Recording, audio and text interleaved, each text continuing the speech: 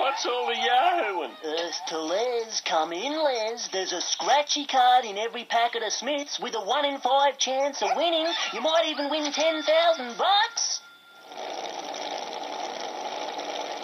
Give us a scratch then, son. Sorry, Dad, you'll have to scratch your own. One in five chance of winning? That's too good!